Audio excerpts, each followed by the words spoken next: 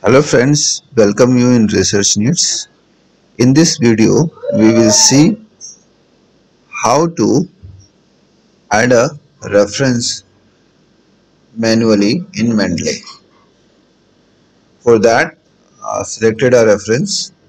In that, we have to select or copy the title of the reference.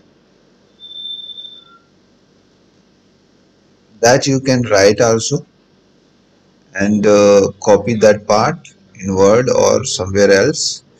Go in the file option file tab. Here you will find a title option. And paste the title or write the manually. References reference title. Drag the interface. You will see here it is already added in the bottom part. Now you have to update the reference. You will see it will automatically take on the all details of the first reference